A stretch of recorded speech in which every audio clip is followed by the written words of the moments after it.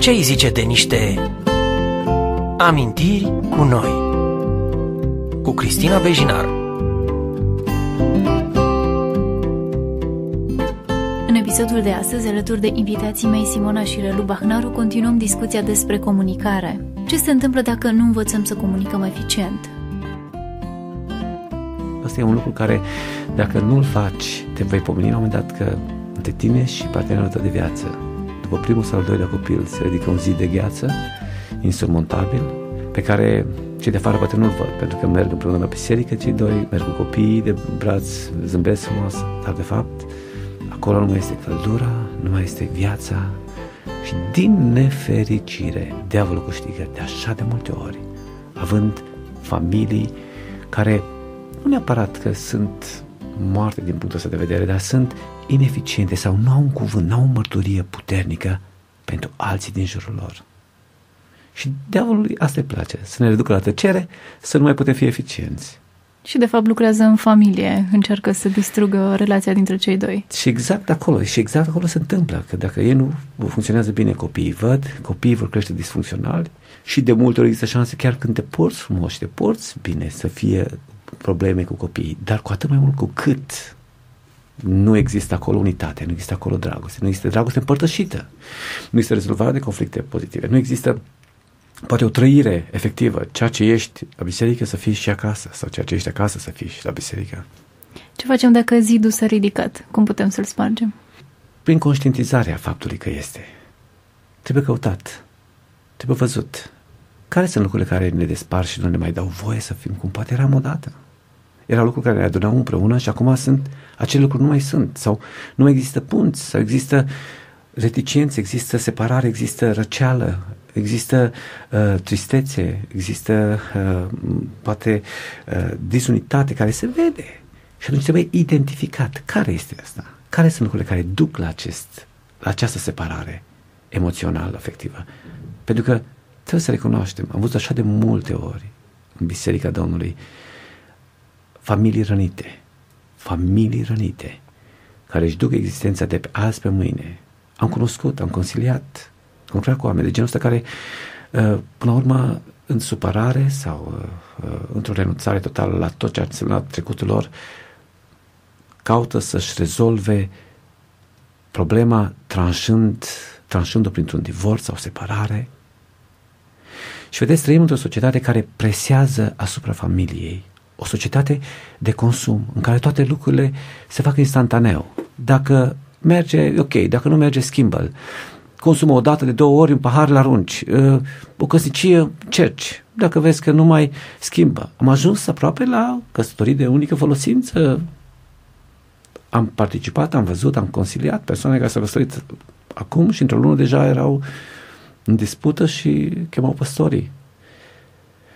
De ce? Pentru că nu au fost anumite baze pe care s-a pornit. Și cred că asta e baza fundamentală pe care vreau să o las pentru toți cei care se gândesc să întemeieze o căsătorie sau cei care au deja, să se gândească cât de mult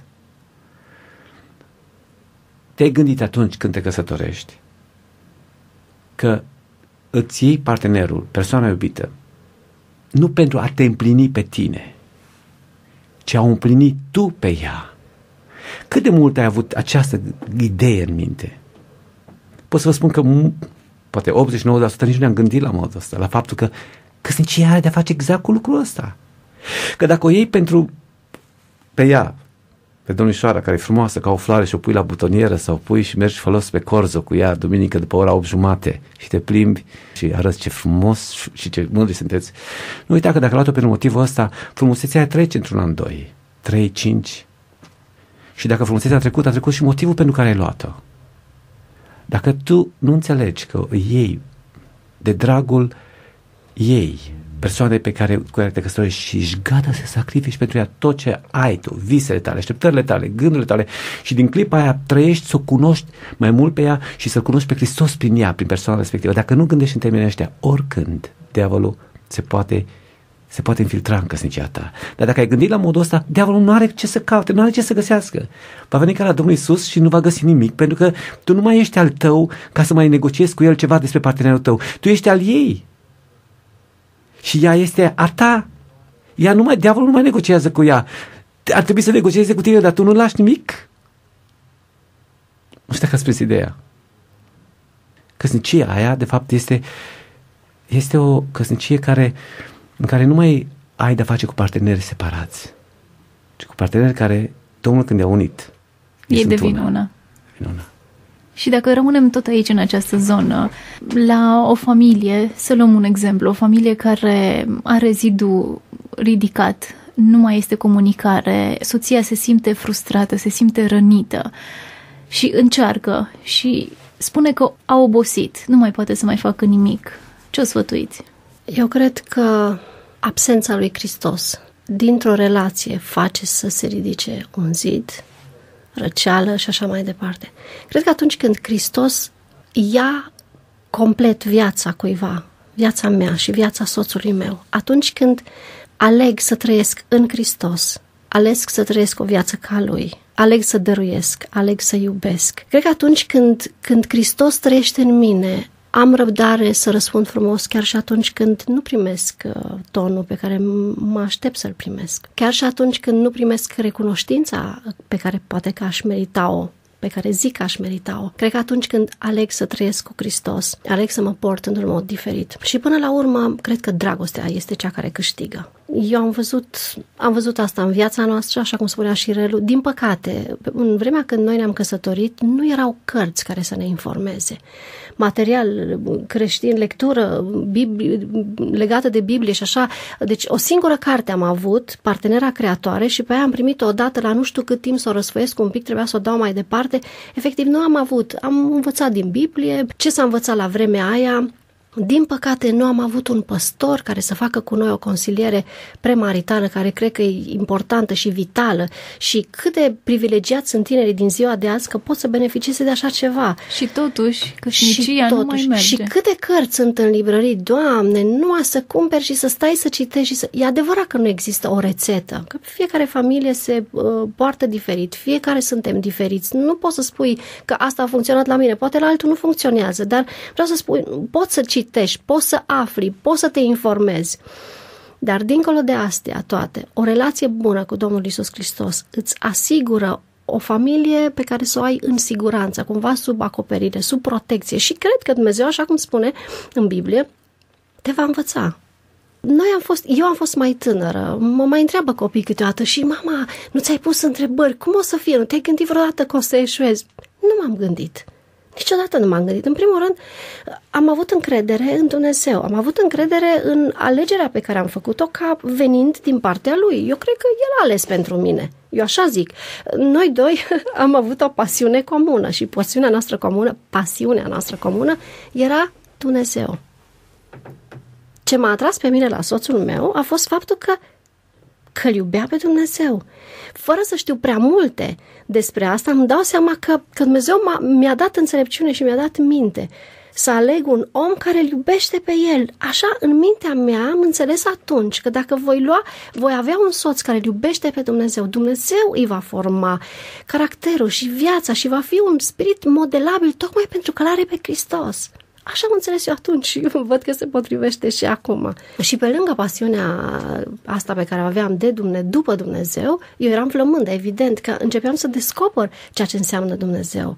Mie Dumnezeu mi s-a descoperit personal, cum spun, nu m-a obligat nimeni să mă duc la biserică, am fost prima din familia mea care s-a pocăit, părinții mei încă nu erau, nu mergeau la biserică și a fost alegerea mea să-L urmez, m-am îndrăgostit de Dumnezeu, am clădit o relație de, de prietenie sau cum să zic, aproape de Dumnezeu, mi-am dat seama că El răspunde uh, rugăciunilor mele, El mi ascultă chiar și cele mai banale dorințe, pentru mine Dumnezeu asta a făcut. Și atunci era normal să nu-mi pun problema ce se va întâmpla dacă mă voi căsători. Pentru mine era normal ca Dumnezeu să aibă grijă sau că Dumnezeu să mă învețe, Dumnezeu să-mi spună ce am de făcut. Normal că nimeni nu este scutit de test și că, de fapt, testele prin care trecem sunt cele care ne învață.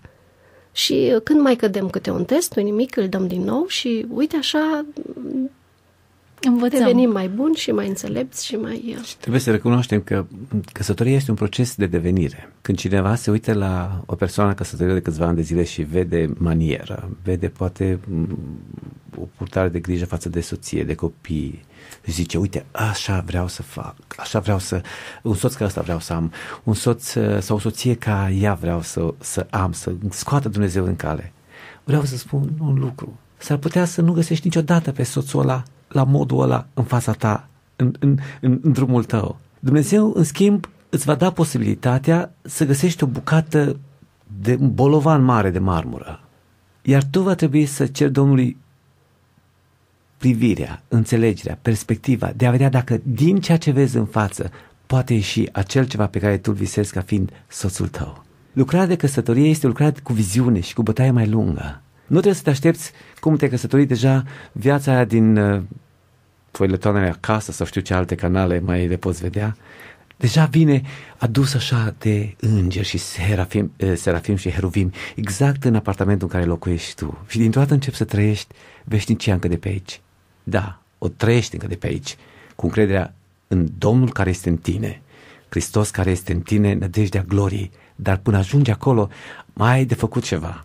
Ai de transforma poate un, un, un, un, un, o bucată de rocă, marmură sau granit, într-un bărbat ideal care peste ani de zile va fi de asemenea apreciat și considerat, sau într-o femeie specială, o femeie care slujește, care se implică, care vorbește, care, care eh, este un model al generației ei, dar nu se întâmplă așa peste noapte. Mi-am adus aminte acum în timp ce vorbeam de Michelangelo. Cineva a văzut un înger pe care eh, tocmai îl sculptase, de un rafinament excepțional, specific lui Buonarroti. Și a venit și l-a întrebat și i-a spus, maestre, spune totuși, cum de ai reușit din bucata asta de marmură să scoți frumusețea asta angelică? Uite chipul, mantaua, aripile, totul este divin. Și omul a răspuns foarte simplu. Eu n-am făcut nimic altceva decât l-am văzut pe îngerul ăsta acolo. Și tot ceea ce a fost, ce am făcut eu a fost să îndepărtez ceea ce îl oprea ca să iasă afară. Cred că atunci când ai perspectiva asta despre căsnicie și îl vezi în fața ta sau în fața ta, cere ochii lui Dumnezeu să scaneze ceea ce vezi în primul moment. Ești tentat să vezi lucruri frumoase, să fii îmbătat de miresmele parfumurilor de ziua de astăzi, și a... dar cere privirea pe care doar Duhul Sfânt și apropierea de Domnul ți-o dă. Și când scanezi și vezi înăuntru nativul, ingenuitatea, curăția de inimă, spune, Doamne, dăm putere ca de acum încolo să mă dedic la a scoate, la a depărta schijele care mai sunt și viața mea o dedic, o sacrific, să scot în cel care mi-l pui în față omul tău, femeia ta, tatăl copiilor mei, mama copiilor mei, care va fi pentru generația care va veni și pentru ani mulți de acum încolo să fie un exemplu, în așa fel încât și munca ta cu munca mea să scoată cu adevărat ex familii model sau familie model în care tu să fii înălțat, tu să fii glorificat și tu să fii aplaudat la scenă deschisă, Doamne, pentru tot ceea ce se întâmplă în viața noastră. Care au fost paragrafele scrise de Dumnezeu în povestea voastră de dragoste? Poate unul din uh, versetele cheie în uh, relația noastră a fost un uh, verset scurt. Ceea ce a unit Dumnezeu, omul să nu mai despartă. În casa noastră n-am pomenit niciodată cuvântul de divorț. Au fost supărări poate la început, în primele momente, pentru că am fost crescut într-un mod, să zic eu, mod Poate- la care părinții mei... Poate că n-ar fi greșit să spui și ce sfaturi ai primit în momentul în care te-ai căsătorit cu mine. Nu de alta, dar mai știi, poate cineva o să se audă și o să se sesizeze și dacă se face vinovat de același, de același lucruri, de ce să nu, știu eu, să le aducă înaintea Domnului și să se schimbe. tatăl uh, unei familii cu mai mulți copii, a venit la mine și m-a sfătuit imediat la prima lună. Sau dacă nu, primele două săptămâni după ce m-am căsătorit. Pus mâna pe umăr și mi-a zis, Firelu, fii atent, cocoșul cântă în casă. Nu găina, ai grijă. Poți să folosești orice metode ca să... Eu am rămas uh, uimit poate de veracitatea unor cuvinte de genul ăsta și neverosimilul lor. Nu m- m-aș fi așteptat ca cineva să mă sfătuiască că autoritatea se impune în căsnicie, la modul ăsta. Eu știu că uh, poate am rănit-o, poate uneori pe soția mea cu cuvinte și vorbite de multe ori într-un mod și la o intensitate sau poate uh, un ton uh, nepotrivit, dar uh, nu am ridicat mâna să lovesc niciodată. Pentru că totdeauna exemplul meu a fost de când am găsit versetul ăla că Hristos și-a iubit. Cum și-a iubit Hristos biserica, mireasa, așa trebuie să-mi iubesc eu soția. Am stat și m-am comparat ce ar fi cu Hristos. Hristos ar fi lovit? Eu n-am văzut biserica cu ochiul bânăt niciodată, n-am văzut biserica frustrată de Hristos. Hristos știe să iubească la modul absolut și dacă am să mă compar, nu am să mă compar cu cineva care este mai slab decât mine și care se poartă într-un mod grobian sau într-un mod dur cu soția lui sau cu copiii lui, ci am să caut să mă raportez la modul în care se poartă Hristos cu mireasa lui și cum se poartă Tatăl cu copiii lui. Asta au fost câteva lucruri care au marcat modul meu de a vedea paradigmele mele de viață și de înțelegerea ceea ce înseamnă căsnicia. N-a fost brusc, au fost așa în timp. Și Dumnezeu a avut răbdare cu mine și trebuie să apreciez că soția mea a avut răbdare cu mine. Și cred că probabil ea a avut aceeași înțelegere despre ce înseamnă căsnicia. A așteptat în răbdare ca uh, Domnul și uh, instrumentele pe care le avea în mâna ei să, uh, prin Duhul să mă descojească, să, să ies până la urmă la lumină și la înțelegere. Și trebuie să descunosc că am ieșit, mai sunt încă impurități. impurități, dar suntem într-un proces continuu. Nu sunt perfect, dar sunt în progres. Sunt într-un proces de perfecționare, sunt într-un proces de lucrare și cred că dacă cred, admit cuvântul ăsta, cuvântul este viu și lucrător și mă transformă zi de zi. Ați avut vreun model sau un exemplu pe care l-ați urmat în căsnicie, după care să vă ghidați? Nu, citeam doar din Biblie și mă, mă gândeam la femeia din Proverbe 31. Dar nu aș putea spune neapărat că am avut un model. Mi-am dat seama că fiecare până la urmă e unic și particular și și așa cum spuneam, știam că Dumnezeu avea să ne învețe pe parcurs, pe fiecare în, în dreptul nostru, ce avem de făcut. Da, adevărul că modelul a fost studiu în cuvânt. Țin minte că după ce m-am căsătorit la vreo 2-3 ani, prin harul Domnului și prin grija unor prieteni, mi-au picat în mână două Biblii, una Dake Bible și una Thomson. Erau, ceea ce avem acum tradus Thomson în română era pe vremea aia ceva inedit, care avea semnătura lui John Stott, unul din predicatorii de marcă. Și în Dake Bible, mai ales, am găsit uh, multe cuvinte din greacă și ebraică traduse în conotație sau în sensul lor Uh, în semantica în care au fost folosite pe vremea uh, Domnului Iisus Hristos sau dacă erau în Vechiul Testament înainte de, de Domnul Iisus. Și m-au ajutat foarte mult să-mi așez în minte concepte, realități, trăiri, uh, idei, înțelegeri vis-a-vis de ce înseamnă și căsnicia. Și am început să caut, pe urmă, prin Harul Domnului am făcut și uh, Institut Biblic și am învățat uh, tot mai mult uh, greacă, trebuie să recunosc că greacă am învățat cu eruditul Vale Brâncovan. Pentru un an jumate a fost profesorul meu și a fost unul din mentorii mei în ce înseamnă uh, pătrunderea în cuvânt, un om de excepție, un om deosebit și am început să citesc, să caut în original cuvintele în original și am descoperit înțelesuri care m-au făcut să văd că oamenii trăiesc departe de ceea ce era modelul și am citit, am găsit chiar în Geneza, arhiuzitatul verset, uh, va lăsa omul pe tatăl său și pe mama sa, se va lipi de nevasta sa și vor fi una. Dumnezeu a văzut că omul era, uh, omul era singur și i-a făcut un ajutor potrivit. Am citit acele de mai multe ori acele versete și apoi am citit și în original și dintr-o dată am început să văd dincolo, să văd ca într-un desen interactiv în care vezi dintr-o dată imaginea tridimensională a unui text bidimensional și am început să intru în ceea ce de fapt voia Dumnezeu să transmită dincolo de cuvintele care erau scrise negru pe alb. Și am înțeles că modelul căsniciei este ceea ce Dumnezeu a făcut prima dată în prima, în primul cuplu uman, Adam și Eva, când a spus că omul era singur. De fapt, cuvântul de acolo e chiar interesant. Spune că erau mai mulți într-unul. Și Dumnezeu a spus că nu e potrivit să fie mai mulți, trebuie, mai mulți într-unul. Trebuie să, de fapt, să, să-și găsească să-și găsească, de fapt, uh, uh, pentru că este după chipul și asemănarea noastră, trebuie să învețe ce înseamnă unitatea. De unul singur nu va ști ce înseamnă unitate. Trebuie să trăiască cu cineva. Și i-a dat-o pe Eva și să dă ție și îmi dă mie partenerul de viață cu care a trebuit să învăț să trăiesc tot mai mult în asemănarea lui, în care Tatăl, Fiul și Duhul sunt una. Eu învăț aici cu soția mea și apoi cu copiii mei să fiu și să devin una.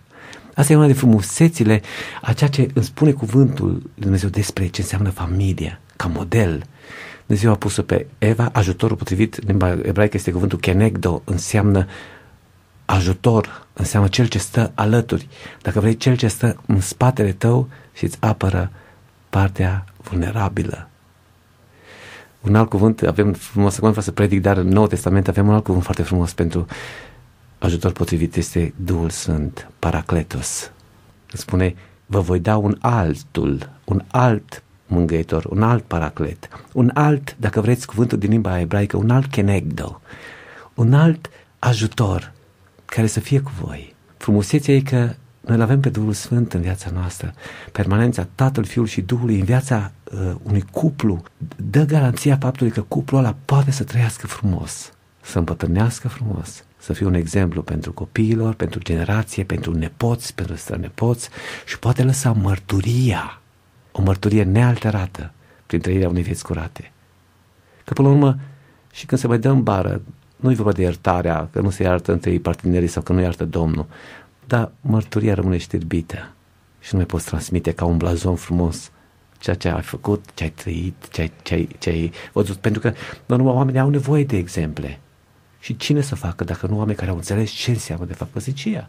Nu spun că eu am înțeles, eu spun doar ce am văzut. Mă nu mă dau tare erudit în asta, dar am văzut că Dumnezeu a lăsat tot ceea ce era nevoie ca o familie, ca o căsnicie să fie împlinită și să poată deveni model pentru fiecare. Nu există scuză, eu n-am putut să. Dacă vrei să cunoști.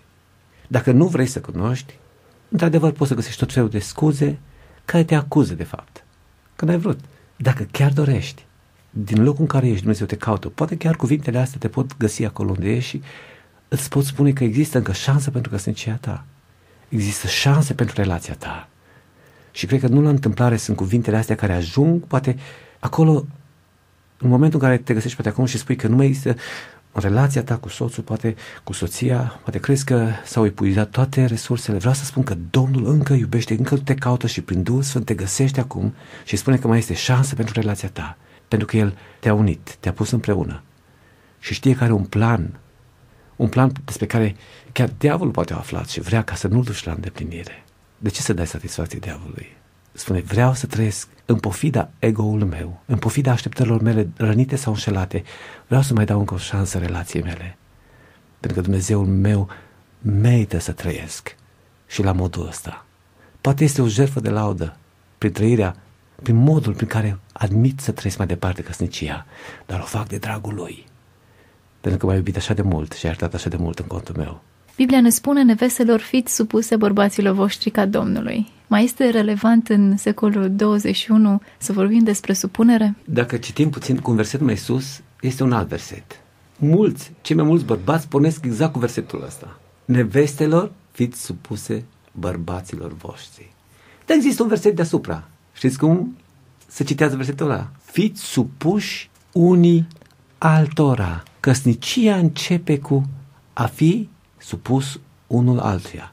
Într-adevăr, sunt convins că să întâlnesc păreri colțoase care vor spune, oh, no, bărbatul mace nu va accepta niciodată ca să fie supus unei persoane care este mai plăpândă, mai fragilă și care cum, adică? Eu cred că în Hristos nu este bărbat nici femeie. Nu este nici grec, nici iudeu, nici american, nici țigan, nici negru, nici galben. În Hristos sunt doar cei care s-au îmbrăcat cu Hristos și sunt ai Lui. Spunea Vrumbrand, mare predicator, că în Hristos noi suntem suflețica, mireasa, este substantiv feminin. Cât de bine te vedea și de ilustru ai părea ca bărbat, ești tot o ea, o mireasa Lui, a lui Hristos și trebuie să învăț să fiu parte din ceea ce înseamnă mireasa lui Hristos împreună cu partenera mea de viață. Când spune acolo uh, nevestelor fi supuse, cuvântul în limba engleză vorbește foarte fain, submitted, submission.